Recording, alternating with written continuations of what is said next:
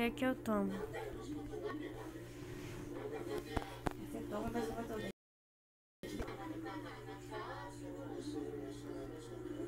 Que vida, hein, irmã? E o Merchan ele diz que o PT resolveu tudo por lá do Nordeste. Esse aí o Bolsonaro tinha que ver esse trem, mandar uma campanha de trem, sair ajeitando esse lugar todo.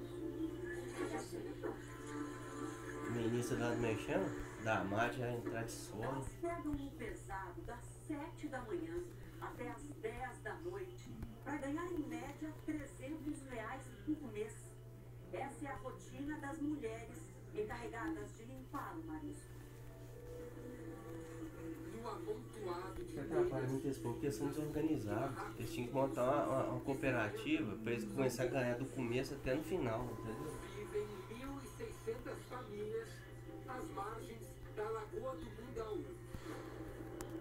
Não existe um registro de quantos barracos como esse foram construídos às margens da lagoa. O que se sabe é que quatro grandes comunidades foram levantadas nessa região. Só que com o tempo elas cresceram demais e se transformaram em verdadeiros labirintos de vielas e de casebres.